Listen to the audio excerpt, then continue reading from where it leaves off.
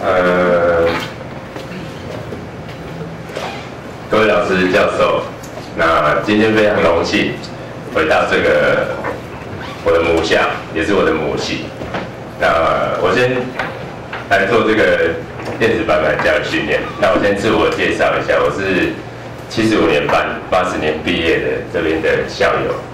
那刚好有这个机会，那学校也肯够给我这个机会来为各位老师上这个这个课程。那在座的老师应该有很多我是熟面孔，可能也有当过我的。那今天终于换到我站在这里，你们坐在下面。好，那我们就今天就开始上这个电子白板的教育训训练。呃，这个电子白板啊，哦，我不从先不不从电子白板开始说，我们先从各个设备的名称，我先做一个简单的介绍。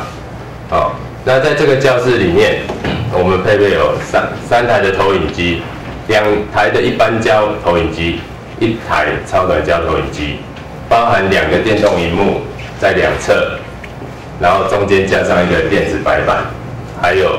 这个叫异化讲座，所以老师以后在上课的时候可以使用的东西就是第一个无线麦克风，第二个耳颈式麦克风，那就看老师习惯是用哪一个。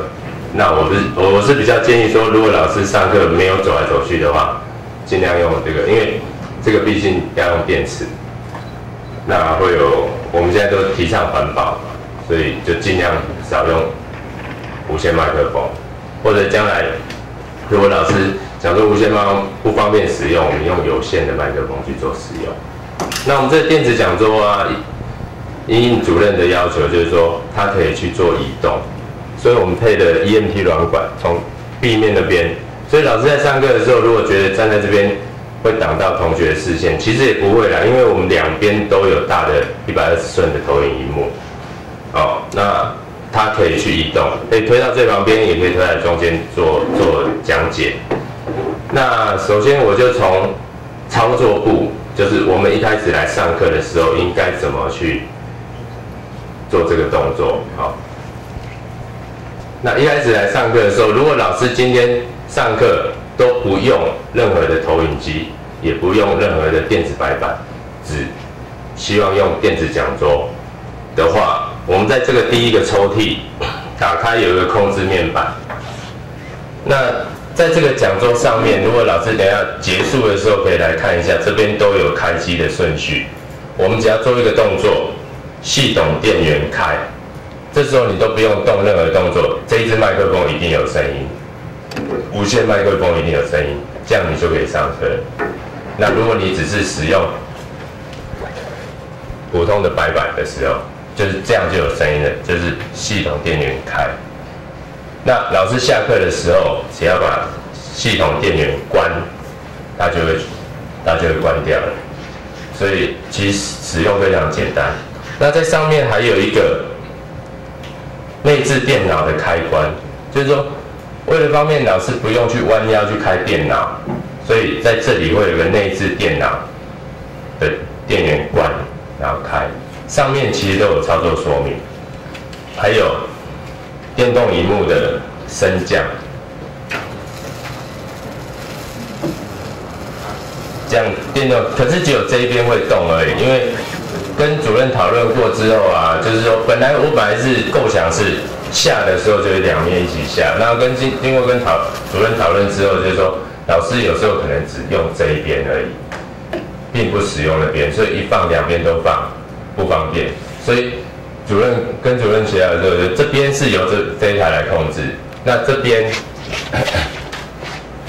这边有个开关，就是放这边的。所以那一边的投影布幕是由那边开。那当然，这个我们在使用可能一个月、两个月、三个月之后。各个老师可能觉得不方便，还是希望同步让他下跟上的话，我们也可以去做更改、做修改。那就请老师先使用看看，看这个方便性。好，那至于这两台黑色的，一般叫投影机啊，因为老师使用可能只有用电子白板，所以我把它设定投影机开关机，上面有个投影机开关机，只开这一台短焦投影机。那至于那两台，就是用我们的 Epson 遥控器。老师想要开才开，不想开，不然你一开就三台全开，一关三台就全关。有时候并不并不需要用到三台投影机。好，那以上是一化讲桌还有投影机布幕的控制。那我先把投影机两侧的投影机把它打开。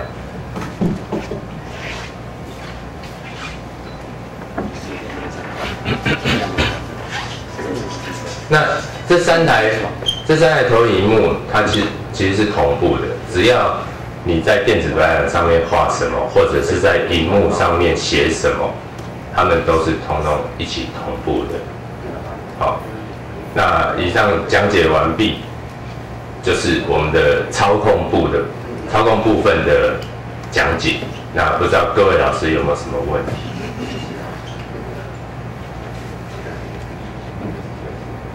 像麦，我要自自自己带那个麦麦克风的话，这边有什么地方可以插座？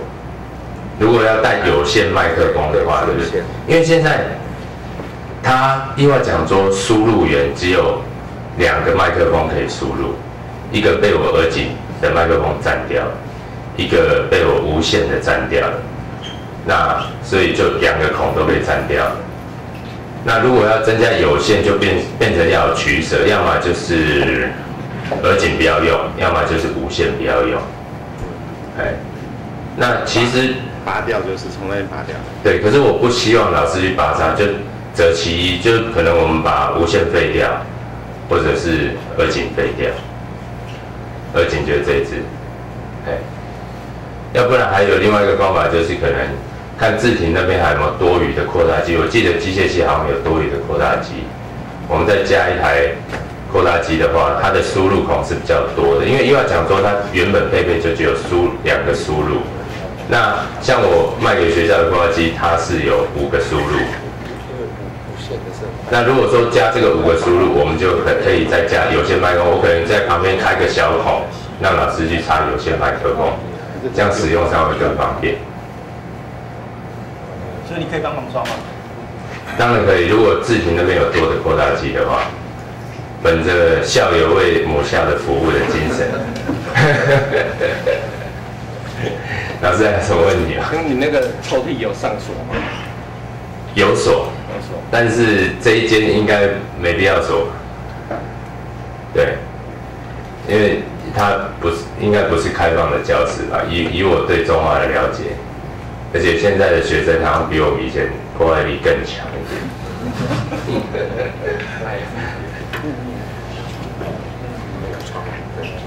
好，那如果老师没有其他的问题的话，我们接下来就继续上我们的重点，就是电子白板部分。因为操控的部分其实跟其他的教室都大同小异啊，没有太多的异化设备，没有像什么。用环环境控制，因为现在有台大那边甚至有用到 iPad 控制，那我们可能还没有到那么先进。像最近做小孩子他家也是都用 iPad 控制这样，哎呀，iPad 走到哪里灯就开到哪里这样。那接下来我们就做电子白板教育训练，好。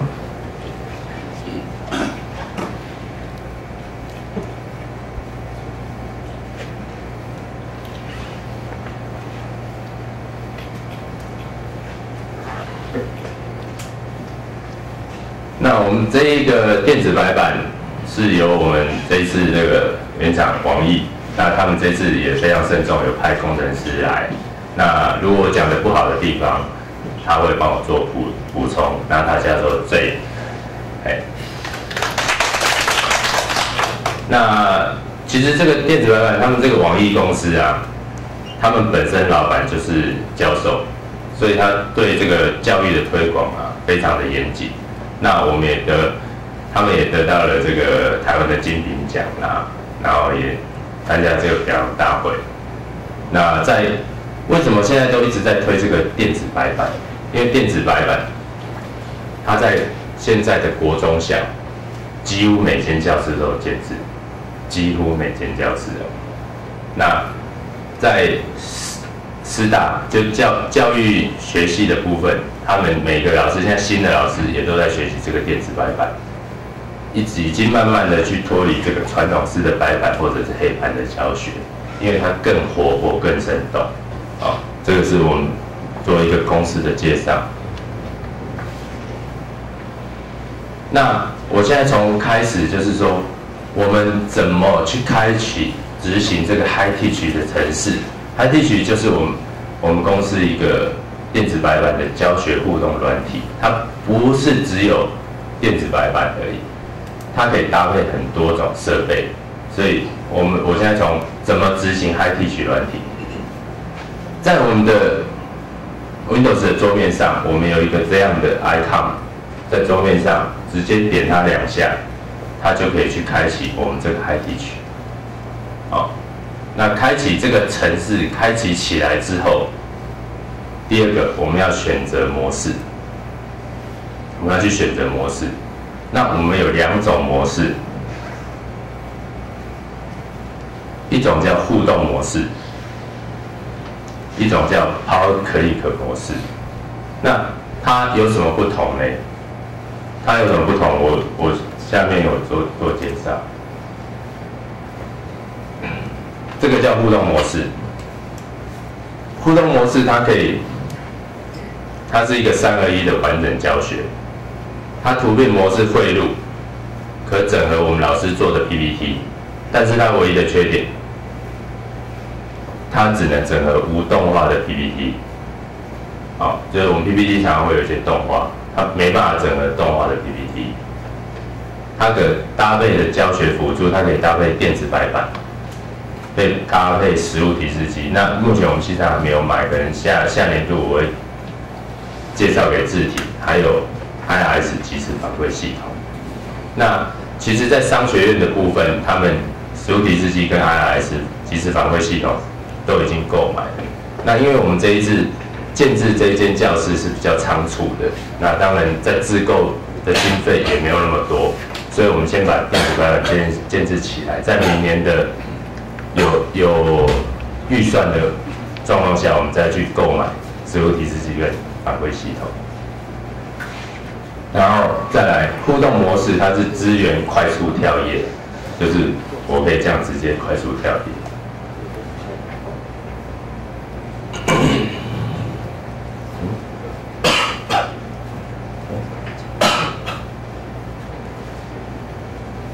那另外一个模式是 Power Click 模式，它一样是三合一的完整教学。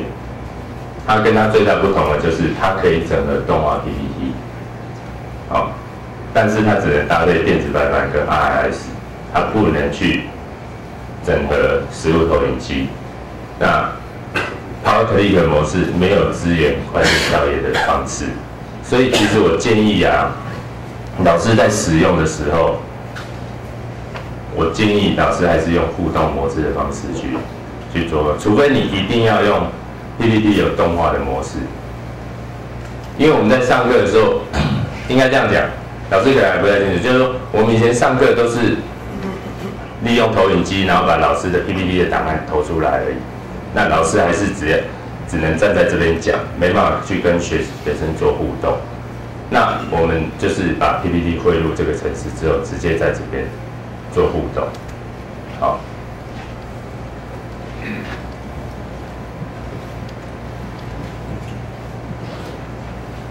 那这个是我们 HiTeach 教学工具列的一些功能。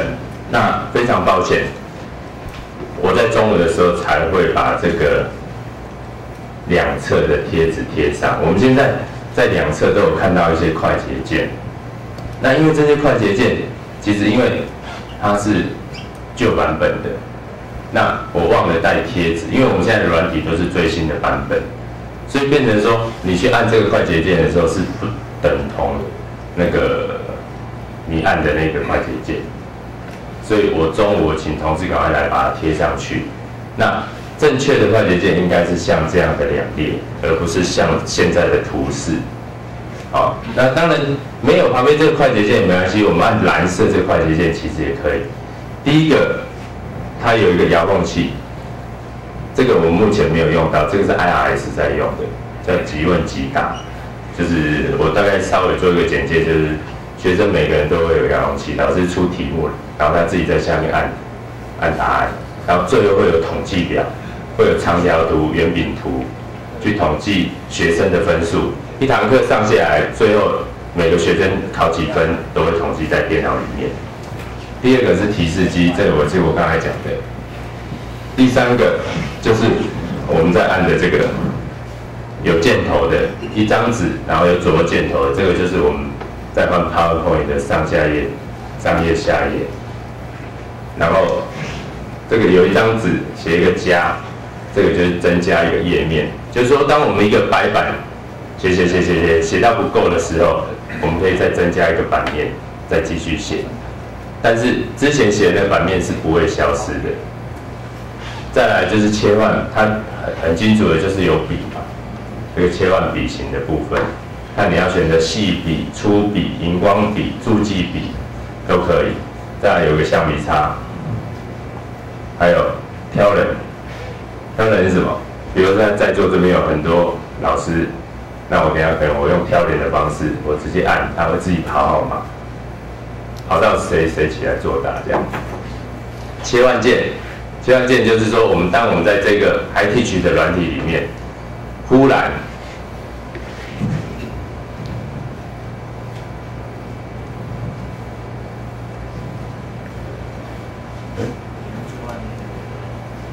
这个为什么被那个？为什么被遮住？切换键就是说，我在拍地区的软体讲一讲，不然我想要跳到桌面上来。好那我现在这现在就是桌面的，我就可以去开启可能网络，开启什么这个部分。对。那当然要切换回去 iTeach 的软体，就是直接按这个一个箭头，在一个四方形的一个切换键。哎，好，那这个是我们工具列的部分。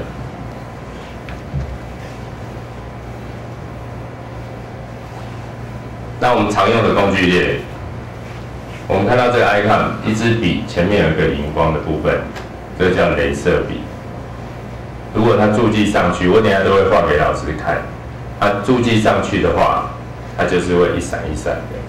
那还有放大镜，可能你老师写的字太小，你就可以按放大，这边有放大镜，去把它放大跟缩小，然后切换软体的位置。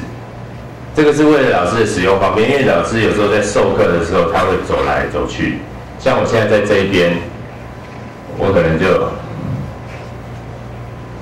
蓝色的笔，我这样在画，好，或者是我做注记，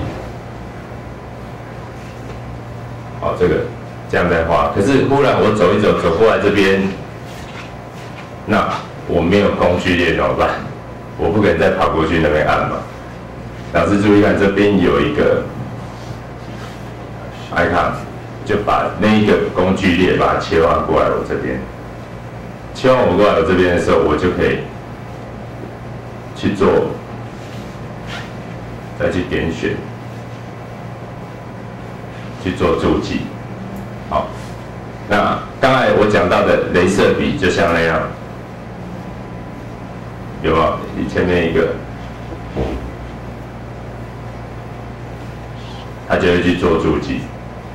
那荧光笔就不会闪。好，那当然这一个我画绿色啊，它就是一个细笔。那当然，因为现在我们有开那日光灯，所以其实它比较没有那么。的清楚，而且我们的底最主要是黑的。我们如果真的在使用白板的时候，其实是白色的，所以它颜色就很清楚。好，那这个是一些包含还有一个我刚才说的就是 那个电子笔记本，其他没有什么，就是在这个上面这个是切换来切换过去的嘛，对不对？那下面这个就是电子笔记本，它就是像我们 PPT 一样，旁边会先把你的页面先拿出来给你看，方便老师去点选，就这样而已。哎。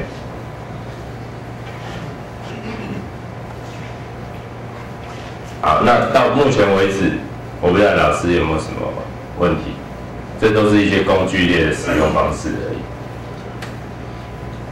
没有，那我继续讲下一页。重点来了，我们怎么样在上完课的时候去储存档案？就是说，我们刚才在上课的过程中，比如说我刚才的教育训练，就是老师上课的教材，我们一直在讲。一直在画，一直在做注记，或者是说老师不会录 PPT，只是开启白白板在做书写的话，那书写到最后你怎么去把它存取档案？好，那它有分成两种格式，一种是 HTE 格式，一种是 Image 或 PDF 的格式。如果我们把它存成 HTE 的格式的时候啊，老师下一次拿着那个随身碟，一定要到这间教室，或者是有电子版本有 High D 区软体的这个城市，呃，这个软体才能开启这个 HTE 的格式。那它的好处是什么？我在下节课上课的时候，除了我上节课写的资料之外，我还可以再去做修正，或者是补充。或者是增加，都可以去更改。如果你会出是把它会出成 image 档、PDF 档，当然你就可以带着到处去上课。任何一间教室只要有电脑的教室，你就可以上课。可是唯一缺点是不能再做修改，你写什么就是什么。哎，所以这就是看老师你上完这堂课，你要不要把它当成教材？哎，当成教材。你如果想要把它当成一个自制的教材，已经不需要再修改，你就可以把它汇成 PDF 档，到任何一间教室、制读教室、什么教室、K 的教室，你都可以去做上课。如果你还想再继续修改，那就要汇成 H T E 格式。当然，如果有学生想要来跟老师要刚才上课的时候的笔记，老师就一定要汇成 PDF 档给他。要不然他回去是没办法去做开启的。哎，那老师在 PPT 的上课过程中，这个我插的话就是说，我们啊也可以随时去做到这个切换到，哦，可能我忽然想要上网上中华科大，那上上中华科大的中文版，好，那。这个页面我想要上课，可是想要上课，我怎么去写它呢？我没办法写吧，就跟我们电脑一样，我们在某一个网页网页的时候，我我是没办法去写它的。这时候。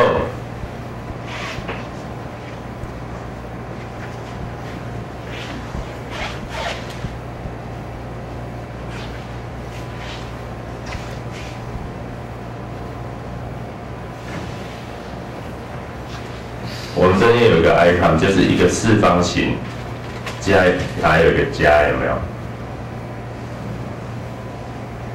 它会闪一下。这时候这个已经不是一个网页了，好，已经不是一个网页。比如说，我像我们现在是一个网页，对不对？是一个可以去 touch 它的网页。啊，中华科大中文版。那我刚才只要有这个 icon 出现，我刚才不是点了这个四方形写一个加吗？它就把它拍照起来。好，我我我重来一次哦，我重来一次。我开一个不同的中华，然后开学术单位啊。好，然后我到 High Teach 的软体里面。ID 学软里面，然后按一下这个加，它就会闪一下，然后就出现这个 icon 的这这些这些快捷键，这时候就进到我的 IT 去。现在它已经不能点了，不能点，但是它有什么作用？我可以开始去做注记啊，关于中华，我们今天上课的中华，好，那这个工学院，那我可以在这个网页去做任何的书写。那将来这一个网页也会变成你上课的其中一页，就是你上课上到一半，你的 PPT 忽然想要加入一个网页，你就把它拍照起来，你不用说事前先做好，你临时想到要上什么网就去上网，然后最后把它存档之之后，我们就会在像我们总共有二十八页，这是在第十三页，就存在第十三页，就插在你其中的一页里面，对不对？没错。就是它不会去分载到你原本的 PPT 档案里面，就是你新增的白，不管你新增几页，它不会去修改到你的原档，它另外存的就是另外新的档案，也就是他刚刚介绍的 H T E 也好，或者是 PDF 也好，就是不会去修改你原先的 PPT 档案。那如果说老师们就是觉得说这一页注记是有效的。那当它存成 PDF 或者是图片档的时候，你可以再帮它插回你原先的 PPT 档案，做成你日后的教学使用。好，这是其中的一个小功能，就是我们可以去截取其他的档案出来。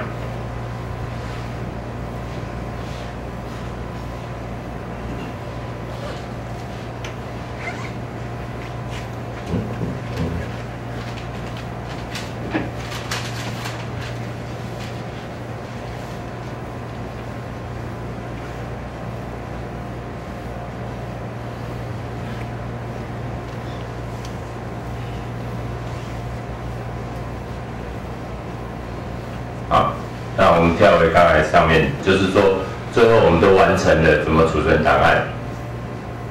请教，那我们可以同时存两个，说 HT 格式跟 PDF 可以？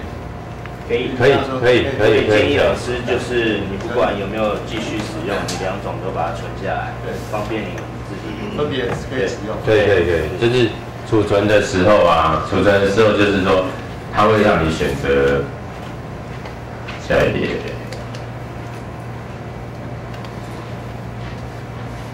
像我们如果要储存的 HT HT 格式，在软体列在软体列里面的 ITG 里面选择储储存档案或者是零存新档，最后面啊，最后面你要退出的时候，他会问你要储存档案或零存新档，然后选择我们要储存的路径，看你是要存在存碟还是存在低槽或者存在哪里。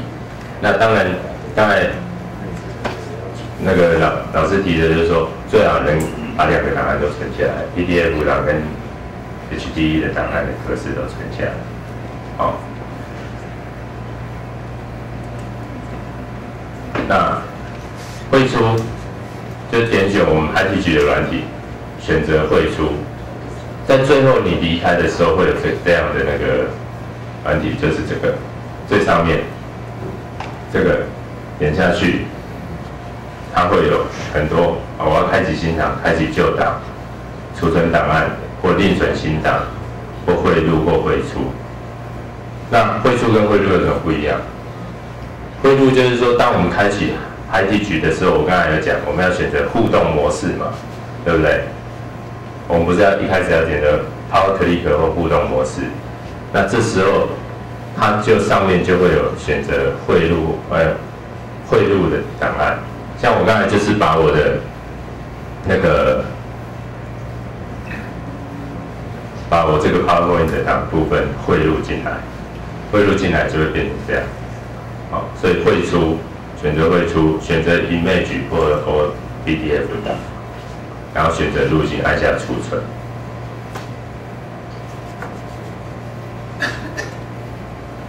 那定时保养的方式，建议每一周就把它擦一下。其实我们这里没有什么太大的灰尘，其实还好。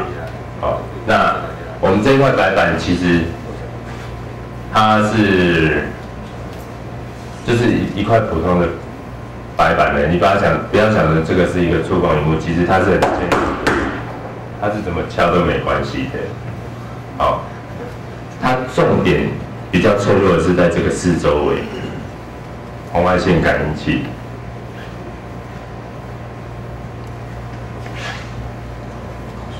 它是旁边这个红外线感应器，那红外线感应器我们也不要用湿布去擦，我们就用干布去擦它就好。所以这个白板面其实是不太怕，不太怕那个你怎么去，除非是用刀子去刮它啦，或者是有色笔。像我我第一次装第中华的第一块白板是在财经启智荣那边，那因为可能推广的不够。老师一来就把白板笔拿过来，就直接写上去。上完一小段的时候，他又拿了白板的板擦去擦，奇怪怎么擦不掉？后 来自从那块白板就整个都是蓝蓝的。那最糟糕的是，我那时候在教育训练，我就有说过了，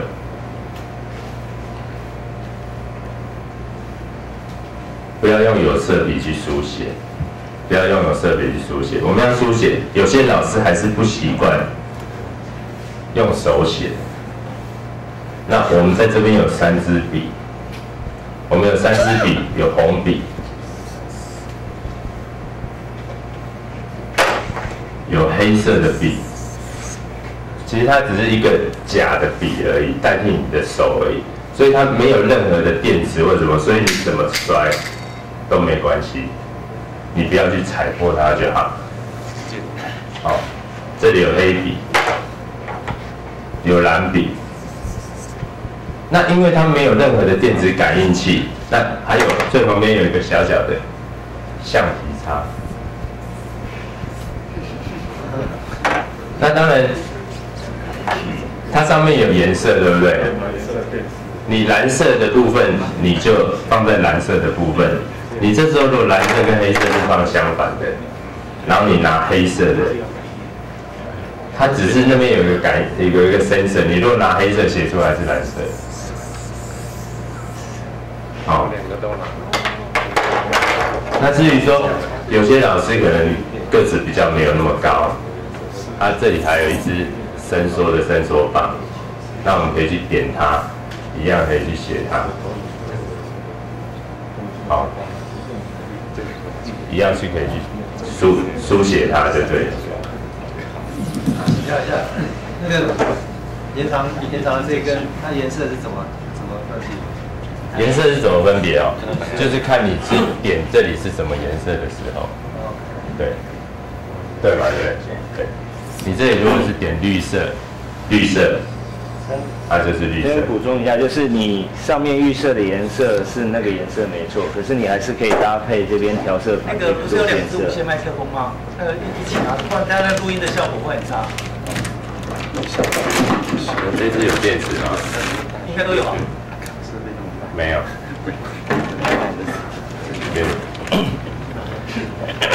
先补充一下，就是前面三个颜色的笔。虽然只有那三种颜色，可是它可以搭配快捷键的那个变色或者粗细，都都可以在快捷键的功能列里面去做变化。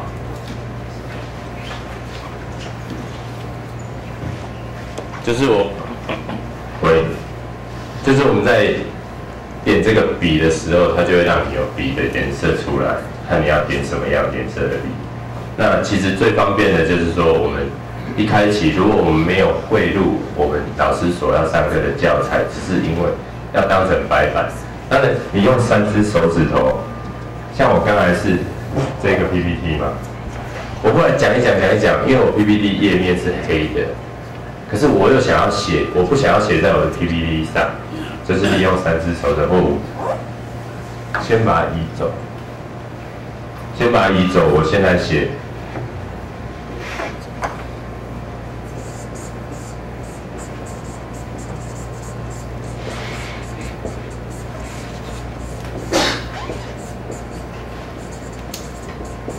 我先来书写我的那个内容，那可能老师还可以出题，好，我等一加一等于，这样去做出题。那当然，我们出题完之后，我们还可以去做我刚才讲的，去做注记，让学生去加深这个印象。那写完这个白板不够，来去我们带，我们这白板是无限大的，可以再去写其他的。那最后我们再去把它移回来就好。哎，所以我们不要用有色笔去书写。那，但是我们也没办法说一定是全部老师一定会都记得。或许有的比较皮的学生就拿着白板笔就给你写上去，啊，这时候怎么办？若不小心误用到有色笔书写这块白板的时候怎么办？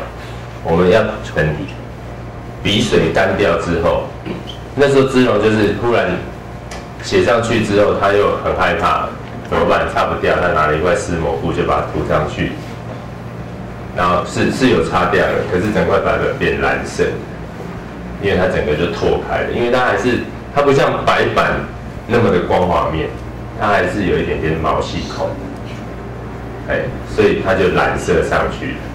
所以我们要等它干掉之后，用我们的蜻蜓牌自涂橡皮擦去把它擦掉就好了。好，可是不要用我们以前自涂那个橡皮擦，那个太粗了，擦完之后还是会有痕迹。用这种平普通的橡皮擦就可以去把它擦掉。那在鼻槽请请勿放粉笔，我刚才有讲过，就是说。这是我们的案例，就是很多老师会放粉笔啊，放什么？因为它上面有 sensor，所以很多有有时候老师就打电话，哎，我为什么我拿了笔起来，或者是说我这个要写，怎么写都是蓝色的字，然后就算我点绿色的，它还是蓝色的，为什么？因为它的 sensor 被粉笔遮住了，所以它。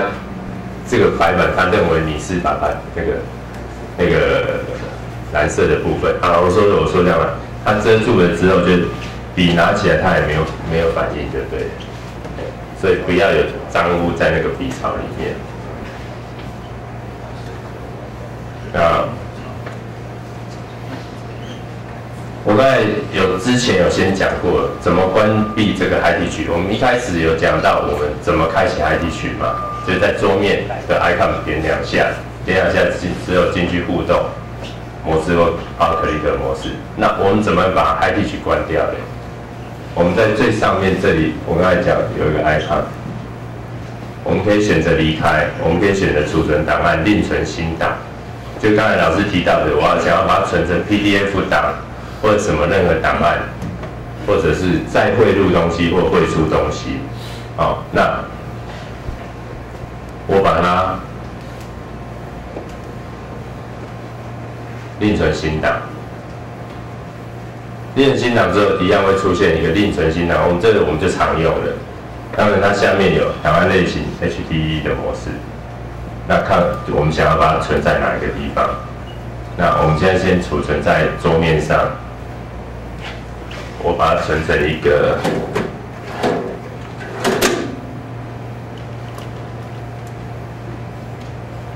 今天是二零一二零九，今天是五号六号零六。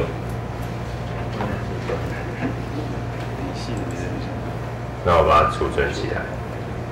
那等下在桌面上就会有一个一个 HTE 的档案。那当然我可以在再存一个。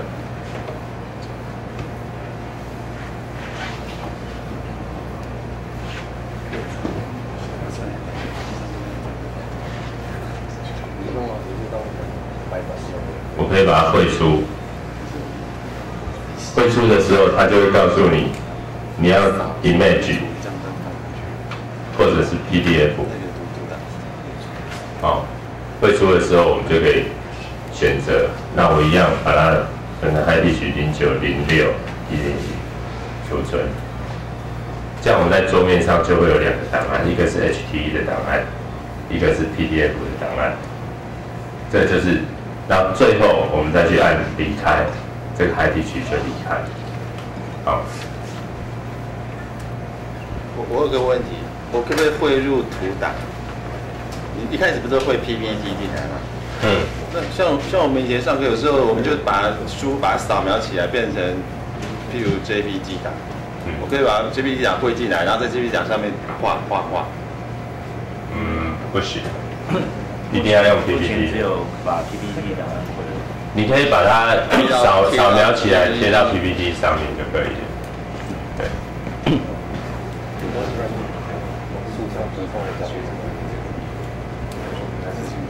目前的教材就是 HTML 档案，这是 copy。HT 档案跟 PPT 档案，它比较少用的是 CSV 跟 EAS 这四种，目前只有支援这四种。那下一个版本的话，会连 PDF 都可以。所以说，我们这个软体啊，它是一套软体 for 一套电脑。那当然，它跟 Windows 一样，它有一些 up update 的功能。所以说，你就算关到别的电脑之后，其实应该说原厂它都会故意写一些 bug 在里面。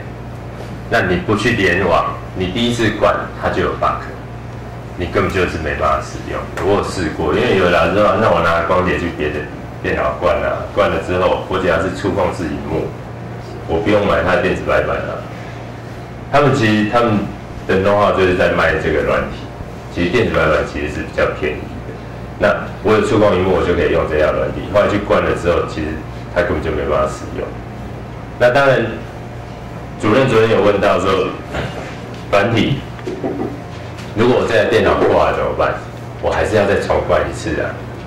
重灌一次没关系，你要先把旧的那一套去把它移除，移除之后灌了新的电脑那一台之后，把序号一样输入进去，然后打电话到他们公司或者打电话给我都可以，没关系。我去跟他们园长讲，就说因为我电脑坏了。那我就注册在另外一台电脑，可是那台电脑一定要能连上网，因为上网之后他会把你更新，因为他给你的版本都是最最旧的那个版本，对不对？那你要自己上网再去 download 一些新的软体，将来他如果以后 PDF 也可以用的时候，你们也可以去 update，因为你们是正常的软体。像如果电脑坏掉，我直接用 Ghost 回去的。嗯？用 Ghost 回去的。用 Ghost 回去，对呀，所以就不会有这个问题。应该是说你电脑在做 Ghost 的时候，呃，当你有问题的话，再 Ghost 回去就是原来安装的那时候了。所以就不会有刚刚说还要更新那个那个讯号的问题。更更新的部分是说，我们下一个版本会有所谓的线上更新，目前是没有的。那日后日线上更新就是等于我一开启软体的时候，它就会像微软一样提示说我有新的东西让你更新。请问你们那个，嗯，那个电脑里头有还原卡吗？现在没有，现在因为它那个，但后面会装上去了。哦，因为如果没有还原卡的话，最大的问题就是会中毒。对，所以我昨天跟主任有通过电话，就建议他还是装还原卡。那主任说，那我写的东西不就都被还原回去？我说不会，你写的东西全存在第一场嘛。那你还原还原 C 槽，这样就好了。对。那老师还有没有其他的问题？哎。那如果有一些呃，我们用自己的电脑来写呢？就是说，你现在就是说，我要上课的话，可能会要用到一些软体。那那个软体，这个电脑没有，所以我可能带个 notebook 来的话，那要怎么连上？嗯，应该是说，呃，你要使用电子白板有互动的部分的话，你一定要有这套软体。那你带自己的电脑来，你的电脑上没有这套软体，是没办法对白板做互动。就是，但是一样可以使。用这样子，只是就是单纯变成投影，就跟这两个布幕一样。你如果在你的 notebook 里面有教材的话，你可以把它存到你的随身碟，然后再关到这台电脑里面。那如果你只是纯用 notebook 的话，那你只能当它是一块电子白板用，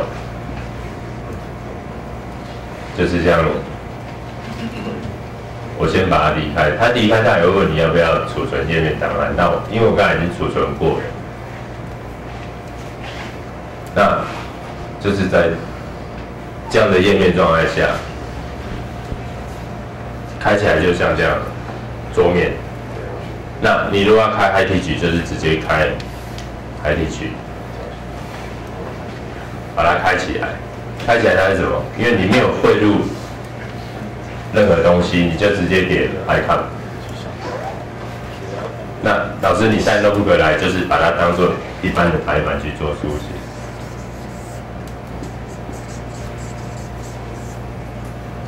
那当然书写完，你可以再去增加下一页，第二页。你看到这边有个第二页嘛？对不对？十九号。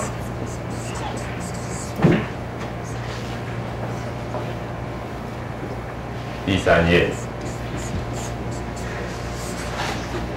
那我这样继续上课。上课上一上，我我想要，哎，我我想要看第二页，前一页，再把它叫回来，在前一页，中华。那当然，老师你写的这些页面，不论他写了几页。我们现在目前就有三页嘛，我只要在新增页面，又有第四页。那第四页我当然可以写很多很多东西，最后他还是会请你储存起来，或者是你不要储存也可以。那下一次它就是一个教材，它也会这样一个一个的帮你写出来。哎，这就是只能存当电子白板。来使用而已，就没有 PPT 汇入这个功能。呃，刚才讲到那个像 PDF 那些档案，对不对？嗯。那这台电脑本身就可以开启 PDF 档案，对不对？哦。所以我开到那一页，比如说我要上这一页的时候，我我就是可以用这边刚才有一个照相功能嘛。对。把它照了之后，然后就变成电子白板这一哦，对对对对对对对。我我在想，说应该是可以用这种方式来。可以，只是说你没办法一次全部汇入。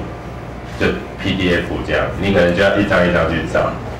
你在 PDF 或者是他刚刚网页那个部分，突然想要做个说明，你就按下荧幕拍照，它就是新增进来的白板页面。那在里面你可以做书写啊，或者是放大缩小啊，拉近拉远都可以。那就是做特别注记或特别说明都都 OK 的。这边有，这边有 PDF。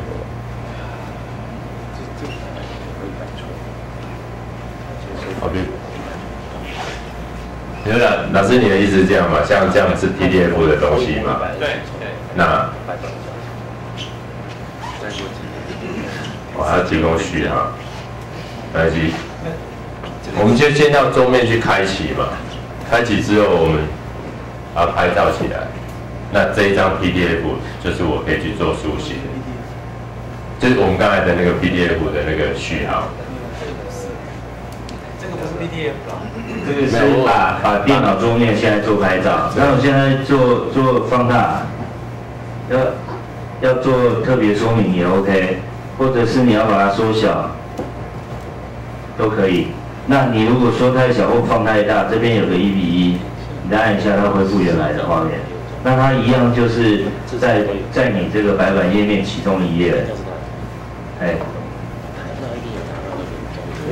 就是你在上一页、下一页，你就可以找到这；在上、在上一页或下一页，就可以找到你那一个你 PDF 汇入的那个页面，也可以当成你的那个教材的其中之一。啊，那你就当然就是可以去做一些那个注记，哎，这样，还有什么问题吗？像刚刚一个。早上有拉开你们那个放笔记型电脑那个抽那个那个后面那个旁边那个抽屉哦，嗯，可那个拉出来没有办法有一个卡绳卡住，嗯，所以万一被往前推的话，电脑会掉下去。哦，你说这个侧板的部分是不是？你什么都不卡所以你们应该拉出来之后有个卡榫卡住。拉出来有个卡榫卡，我来想办法吧，对？好，我刚才忘记介绍，在这个部分。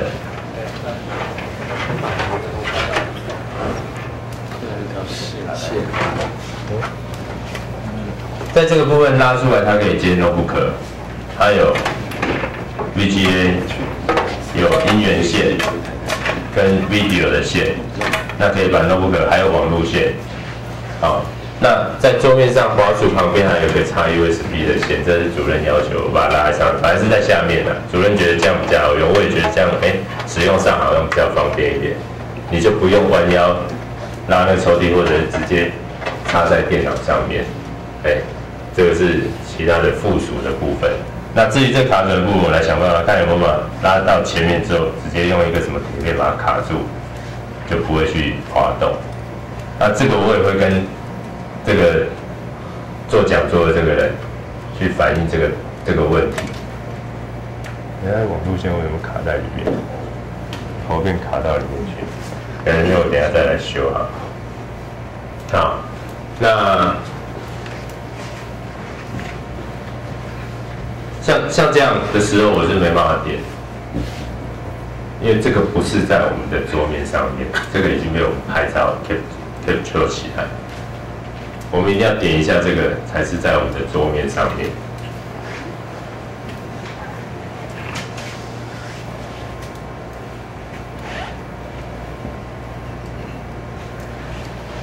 那因为我刚才已经退出来了，我们教育训练刚才到一半。啊，有一个插叙，那我们再把教育训练刚才会出的档案，有一个二零一二零九零六，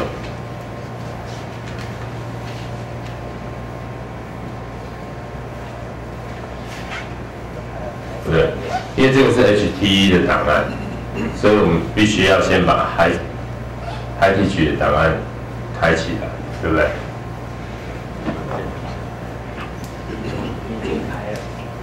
哎，我已经开了。哦，对对对。对。先把这个关掉。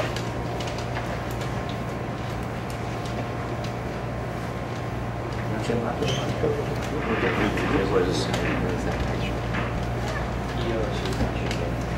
啊，这样就直接点那档案开。现在是省力的，是般一开去。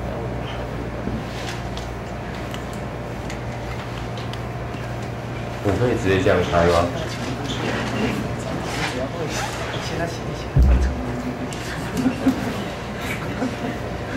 对啊，我现在先把开器局的档案开起来之后，我选择教材档案，那他会请你选择在哪一个档案？那我们刚才在桌面上有存了一个二零一二零九零六嘛？开启它，然后点互动模式，这时候它就会把我刚才讲的那个部分去汇汇入过来。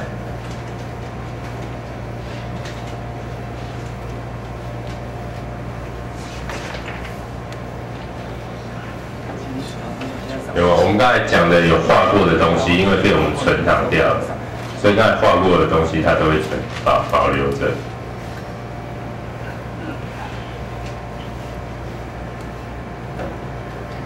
包括我我们刚才上网的那个页面，会在其中的两页。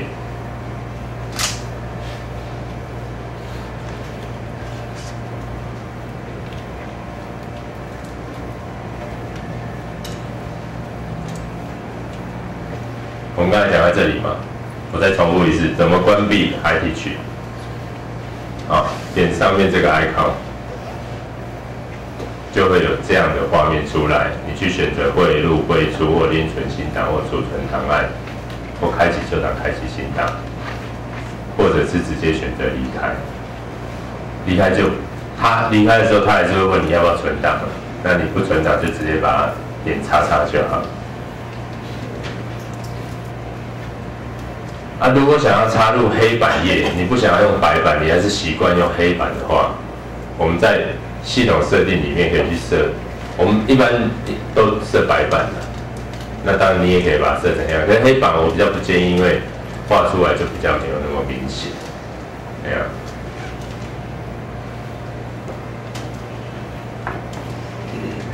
如果当我们书写位置不准的时候，该如何重新定位？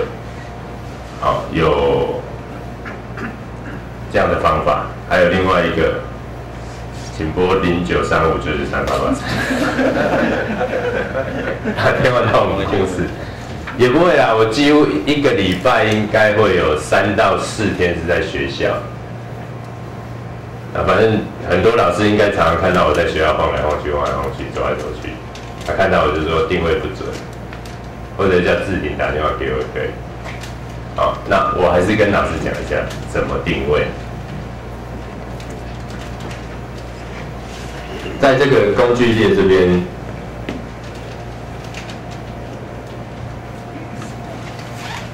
在哪？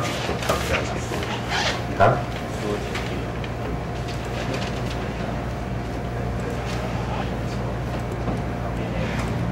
这个，在这个工具列这边有一个，我刚才讲的那个图示有没有？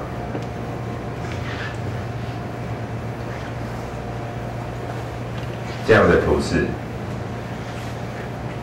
就在这个右下方，好，然后我们按照定位，它会出现这样的一个页面。因为有时候用久了，它定位还是会跑掉。可能我手点这边，它的滑鼠在这边。那我我们就按照它的顺序，它先这边打十字嘛，一闪一闪，先摸着，然后它跑到左左上方，然后换这边，然后换这边，然后换这边。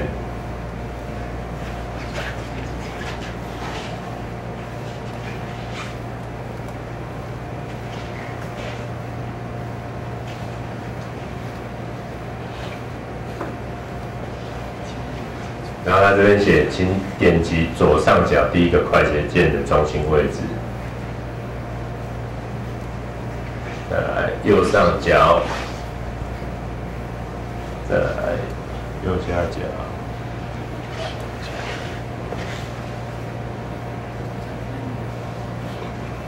这样定位就完成了。这样我们再。我们滑看放放滑滑鼠会不会离我们的手指是很远的？有时候你点在这边滑鼠会在离你有一点距离，那表示定位跑掉。好，这个是定位的部分。那我相信很多老师应该是直接跟志婷讲比较多。好，这个是我们如果书写位置不准的时候该如何重新定位。就我刚才做的有九个定位点。包含四个快捷键的定位点。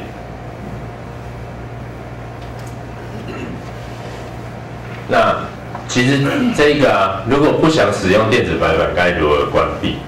其实这个我刚才有跟工程师讨论过，就是有的老师会觉得关了电子白板这个程式之后啊，会觉得电脑好像比较慢。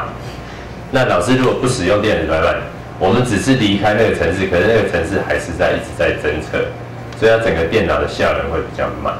那我们如果是要完全退出的话，就是一样找到右下角我刚才讲的这个这个图示，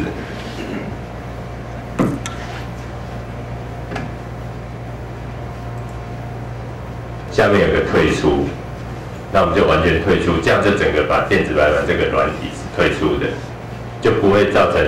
我们的电脑效能，可是现在电脑效能都还不错，其实没有什么太大的差别。好，那就是分了两个，第一个是我刚才是离开，离开只是离开这个软体，没有开启它，可是它还是一直在跟电脑、电子白板在做沟通，所以它还是会吃掉一些电脑的资源嘛，对不对？所以如果你们是要完全退出的话，就是从这边按，对。然后就是左键点一下，选择退出嘛，驱动程式整个都关闭掉。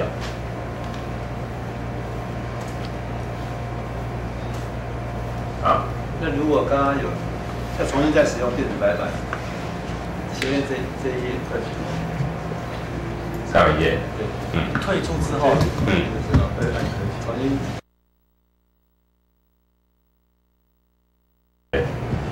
开启 Hub Server，一样，点选桌面，我先让老师看一下。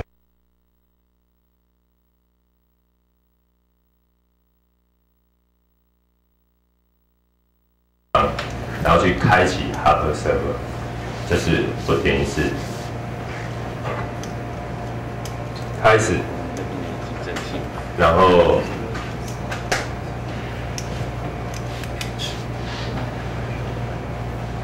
没有排序，在哪里？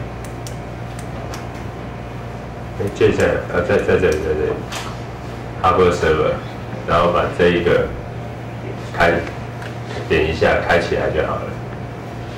对，所以可是这个是看每个老师的习惯，一般老师这个是比较细的部分，老师应该都不会去把那个它关掉了，就是只是把页面上那个关掉就啊，只是说有时候老师怎么点那个怎么那个 ID 曲没有说，就是他把他的 server 那个关掉，哎呀，我们就可以去找到再把它重新启动起来，好，那。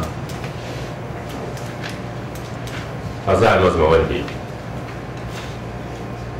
比较，这个是原理，就是用外面的红外线去感测手的位置。对。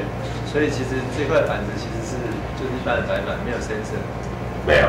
那旁边这个框框的话，就说万一不小心被遮到或怎么样，就会影响到手的位置。对。是这样。对对对对，就是有灰尘，大部分都是灰尘啊。那当然。科技日新月异啊，我是觉得这个在个两三年应该等到那个 LED 面板有办法做到这么大的时候，就没必要去做投影机投射到这个上面。其实我们现在常常看到运用的就是气象报告，有没有？它是不是有很大台一台六十寸电视？然后好像中视还哪里，它是五六台拼在一起，然后去做书写。那个其实就是电子白板的功用，只是你现在买到一百一十寸的液晶电视，其实价钱是很惊人的，而且目前好像市售的好像没有到一百一百多寸的液晶电视，所以如果这样液晶电视这个 panel 已经可以做到那么大，我相信包含投影机可能都会被淘汰掉。为什么现在投影机越卖越便宜？三千六米一台，台今天开出来好像剩一万五千多可以，对啊。所以这个都是一个一些夕夕阳产业。嘿，那老师刚刚讲的那二十八页讲义没有印成纸本嘛？那能不能请视频没有给那个老师？可以啊，就那个 PowerPoint。我我那个 PowerPoint 是留在这一台电脑里面。哦。那如果老师有需要，我直接有没有在桌面上这里有两个？哦，直接扣过去。我把这个删掉好了。只剩下一个电子版本教育训练，老师只要有需要，就拿随身碟来把这个 PowerPoint 档把它抠抠过去。好，还没有其他老师？哎，挑人在哪个单元？这边没有网，因为快捷键长度啊。有有有，后来网上网上刚有上网。他没有给现，直接没有给吕志廷啊，叫他没有给我。没有回答。这个你可以应该应该有到四十吧。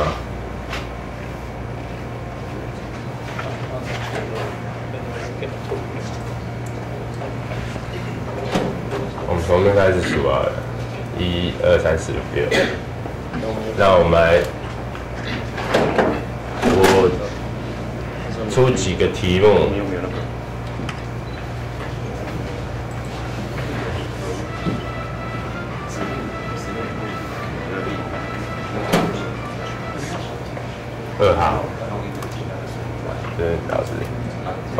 上来操作一下好不好？我们请我们当初没有当我的老师，要操作什么？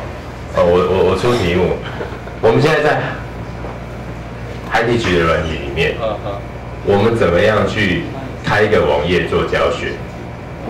我出题目你来做比较好吗？不不不，我现在是老师，你是学生。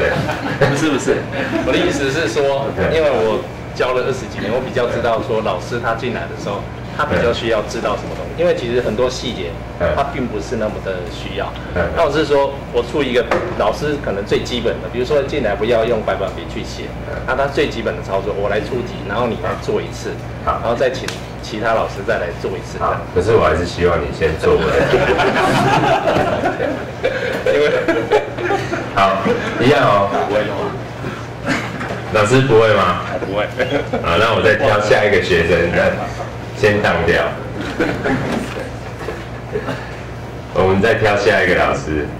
我要出的题目就是，我在 High Teach 的教学中，忽然想要上网去做网页的分析或者是教学，那我怎么从 High Teach 的软体里里面，然后做成一个页面？好，那我们挑，一样从这边这样数过去，开始。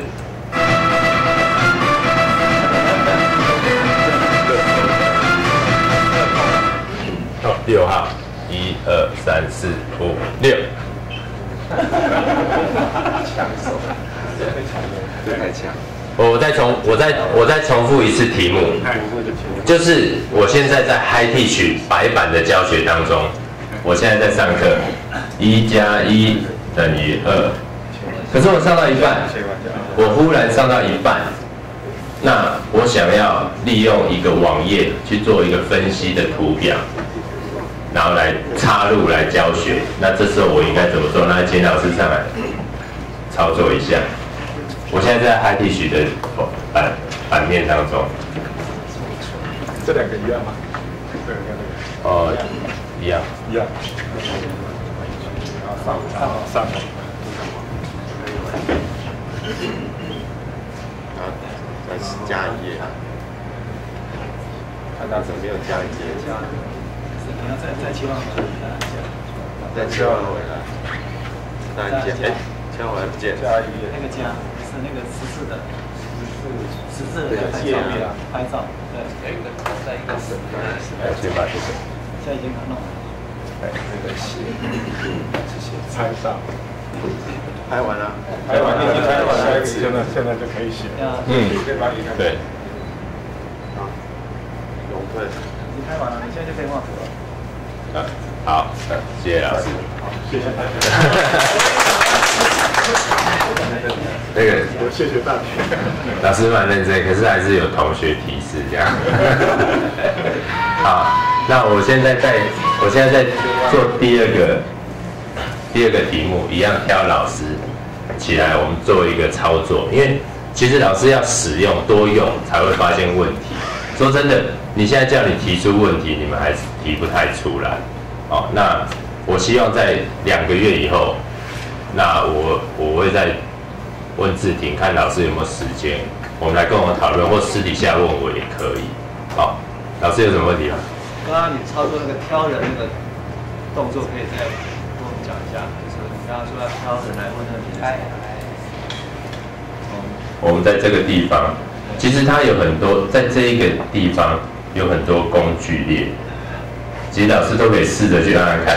这个比较少用到，我们在大专里面比较少用到的就是，我可能一个三角板，这个小学，因为我们以前小学生，我那个年代啊，我不知道老师那年代什么，老师会拿一很大的木头的三角板贴在上面，或者是贴一个圆规，那现在圆规就直接一个画面投出来。那当然，在这个 icon 里面，它也是挑的。我我再重复一次，在中间这个 icon 里面有一个人问号，点下去。那当然，它可以去设这个范围。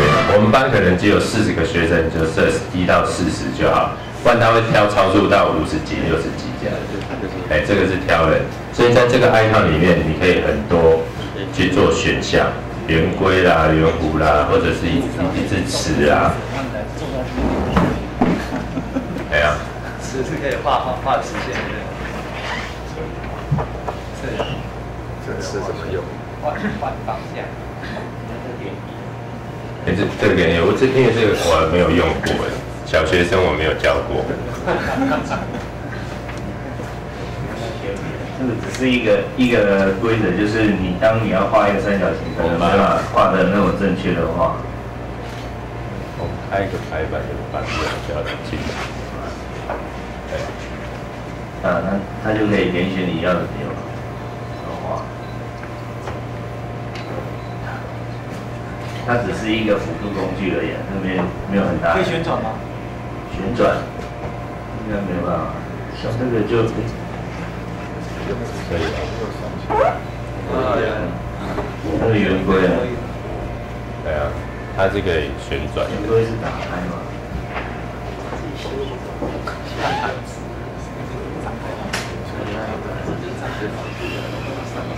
两只手，两只手一起张开。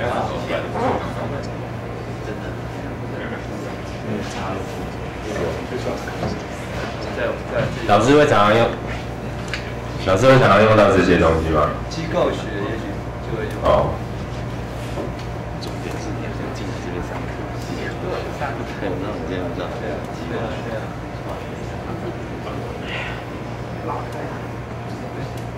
这这个我再另外教老师啊，因为这个部分我们真的还，因为这个是新的部分。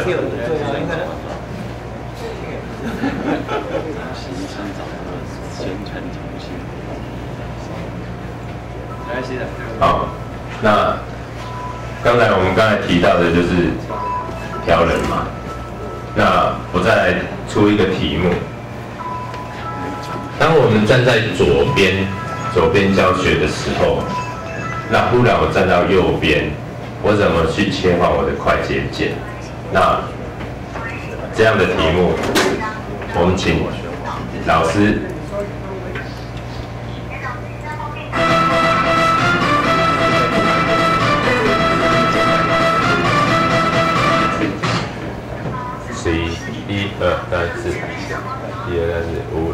七八九十，十一。上面。你说切换上面这一个吗？对。好，非常正确。那请教他这里为什么会出现一个人的名字？那是已经先输入好了。对，其实我们在，其实我们在如果以后有将来有 IRS，我不晓得老师在座老师有没有用过。互动式教学系统、反馈式教学系统，在财经跟那个美军是国国企，他们都有。所以当他们在，因为他们商学院都比较有钱，我们工学院都比较 穷。我们比较有钱，他们都买。可是你们都买那个仪器，对啊，一台 CNC 就吓死了，对不对？他们买个软体。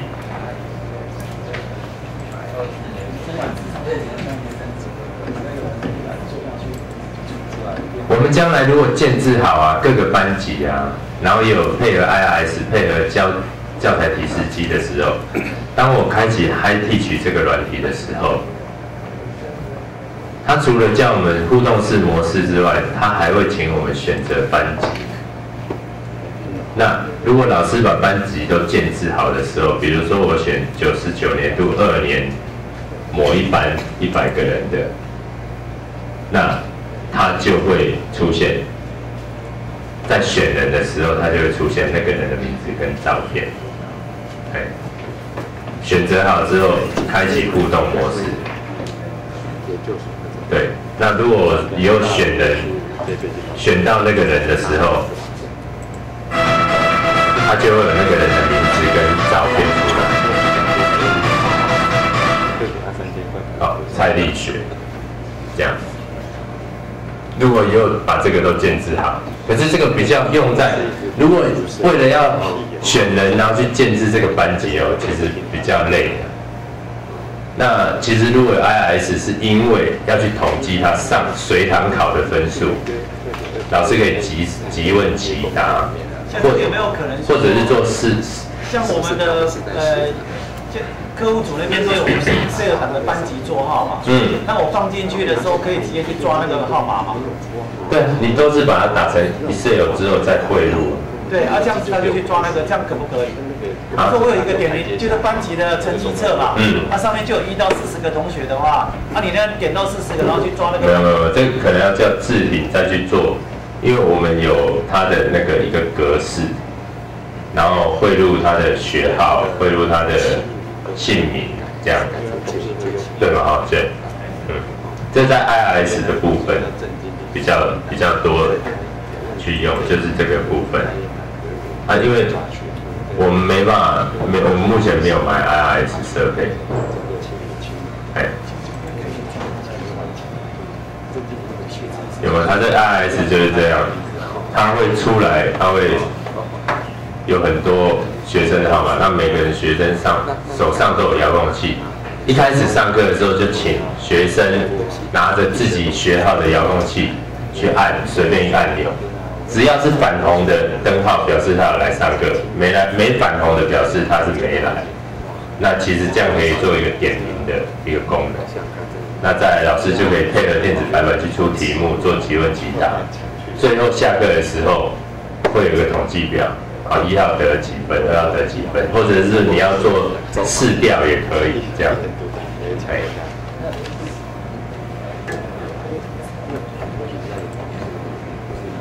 就是出来，它会有这样的一个长条图，或者是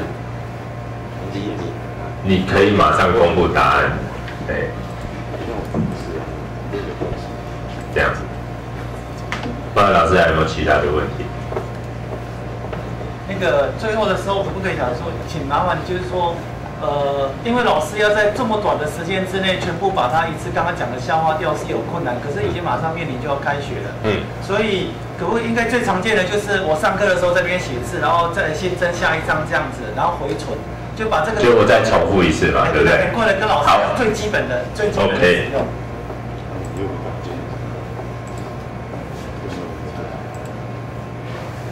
我我我再重来是简短的概要的。其他的不需要的我都通通不要讲。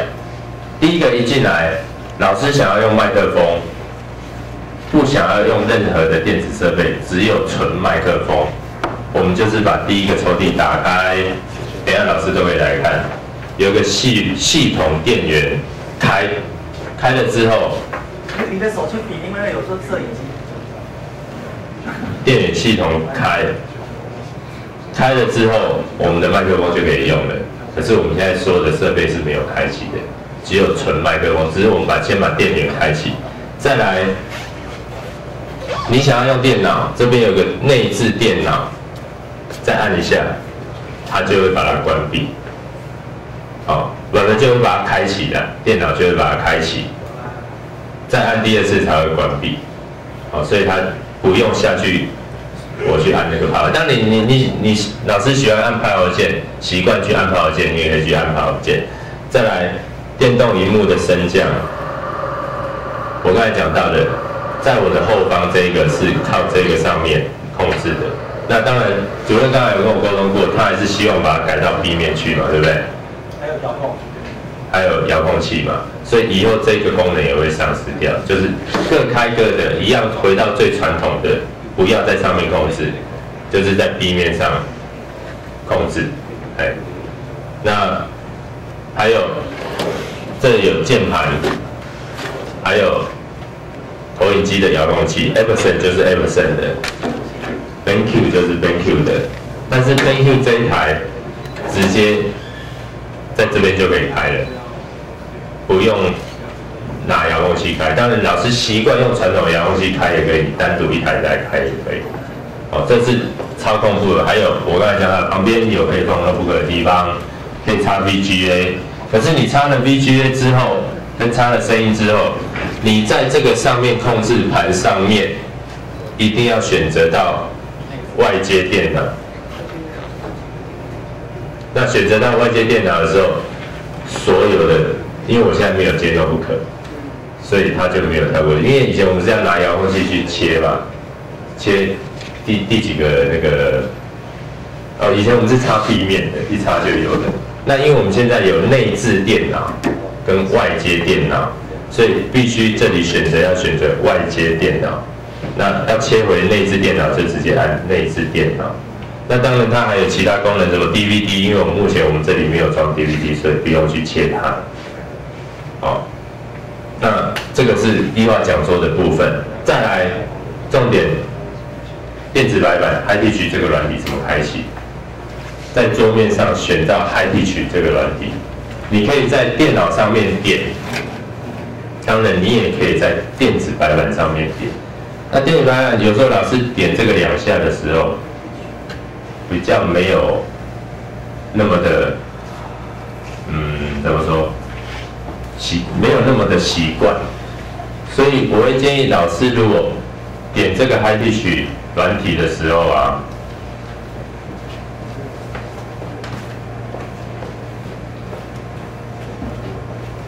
你如果是这样点，哎，怎么都点不开？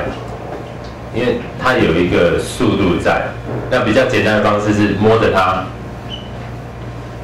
然后按开启就好。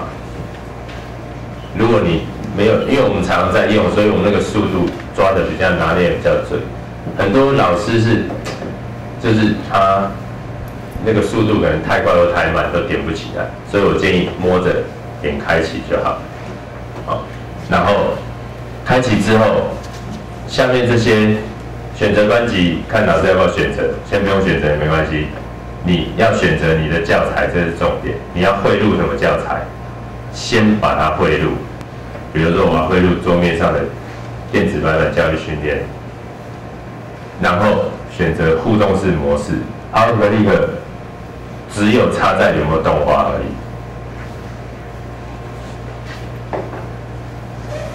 这时候他就会把我的所需的档案汇入进来，汇入进来，再来就是等他一下。他他就会录进来。那我们最常用的就是上页、下页，好，或者是笔的地方，红笔、蓝笔。我刚才讲过，你如果不需要去点这个，你就直接拿蓝笔起来写就好了。这是最最方便的。好，那如果说这个是要汇入教材的部分，如果说我们不想要汇入教材嘞，我们一样开启 Hi Teach，开启。我们只想要用白板，我们就不要去想管它，现在直接点互动模式。这时候，这是最简单的，拿起蓝笔写，写完之后。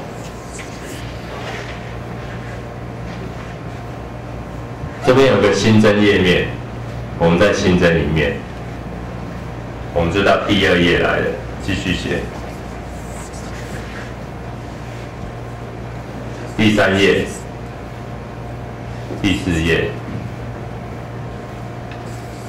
好，那写了，我们一直在写，我们上右上角都有一个第几页第几页，我们当然可以回上一页讲一讲，忽然想要上一页要讲，再把它回去上一页讲就好。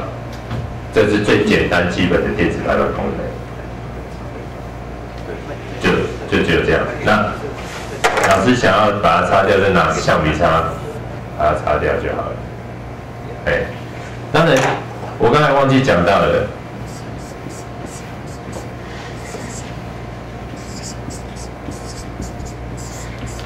我拿橡皮擦一擦，是擦这个部分嘛？可是我如果是我这个是一个笔顺嘛，我这样一擦就把笔顺擦掉了。那有时候老师是想要擦一点点而已，可能我们在制图的过程中，我只是哪里突出去，我想要把它擦掉。橡皮擦，擦一点点的是哪一个图示？中间这个嘛，对不对？不是啊。第一个，第一个。可能只涂一点点而已，因为有时候我不是要全部把它擦掉，这样一个笔顺，然后我就点橡皮擦，第一个、我可以去擦涂掉一点点就好了。哎，我我就不用说那个笔顺，我一一擦我就全部擦掉了。嘿，可不可以同时两两点？不行，我刚才讲的是红外线嘛，所以对对对，它对对对，它就是它没办法，没有像 iPad 可以放大缩小。对，它多点是移动而已。对，哎，还有没有什么问题？这是简单的，一个是汇入档案的，我刚才有讲过了，一个是纯用白板，那其他的功能列就老师去试试看，很快就可以上手。那等到上手之后，再再来上一次课，就会有很多人举手。我用的过程中啊，我怎么样，哪里出现问题，都可以把它注记起来。然后在下一次的时候，下一次其实不会很久，大概在两个礼拜，我会办在美军那一间，一样是在上课。那上课，我们所有学校的老师都可以一起来上。两个礼拜太短了啦，因为刚刚开学一个礼拜而已啦。没关系，两个礼拜如果太短的话，因为美军那边老师也要急着要上课。其实美军他们系上的老师其实已经上过一次课，因为他们在去年的时候就装电子白板，他们也是一样会上第二次课。再来，我会办一个比较大规模的，可能在五楼的日新楼五楼的教室，我会把所有的设备。一次展示，其实那一次就不叫做教育训练，那一次叫做研讨会。那那一次的研讨会，我会就是做一个证照。那有有有上上过课的老师都给你这个两小时的证照，这样就是我们公司提供的那个电子版本。因为像上一次，我不知道。为为为什么美军他们商学院的他们都需要证照？像他们上次上过课，他们就要求我要原厂开证照出来。我不知道他们要这个证照要做什么用。哎呀，机械，是吗？所以如果说机械系有需要的，有不需要？有吗？我们有准备啊，你们可以教帮我们教你们公司的账。哦，好啊，好啊。我上一次是去买那个。那个证照，然后还有孔钉的那种。不用不用我我想请问一下，这这件事可以上上网吗？对。那我上网，我要查查资料，能不能用手是手写写的，还是说让这边键盘啊？是用键键盘输入啊？电子键盘。对。哦。就这样啊。因为这是作业系统是叉 P 的叉 P 还没有支援手写的功能。所以你在在开网页要查询，还是要用用键键盘？对，那你如果是 Win 七好像就可以，Seven 是可以直接支援。对，它里面有内建资源手写的部分，这个是没办法。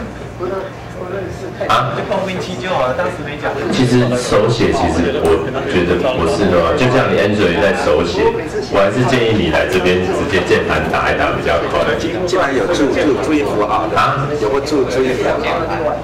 注注音，Win 七有啊，Win 七有资源，那个旁边有个小键盘注音符号有，对啊，有。其其实你这个也可以叫它内建的那个小小键盘出来，在那按。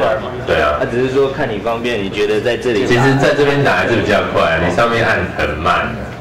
对啊，不是按，我说写是写字。哦，手写功能啊，没有没有没有，手写都是 Win Seven 以上，甚至之后的 Win Eight 也是一样。对其实这也是我们现在用智慧型手机的一个那个，像我女儿他们都喜欢用波波摸的，变成他们字还不会写。对啊，那我是习惯用手写的，常常会什么可能想到一个字，然后写不出来，可是你摸摸摸是注意的出来。对啊，老师还有没有什么问题？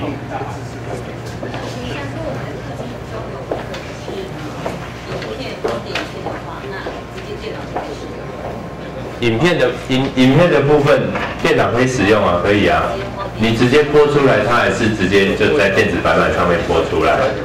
只是我们的 IC 区所谓的汇入教材啊？是汇入吗？汇入教材？呃，影片不能汇入到我们的教材里面。所以现在如果电子白板，做电子白板要做原片，可以它那个教材说说这个很好，可以吗？哦，你说旁边播影片，这边用电子白板，是不是？不行。老师，刚才那个漂亮老师他的意思好像是说，要在 Hi P 区里面会录影片。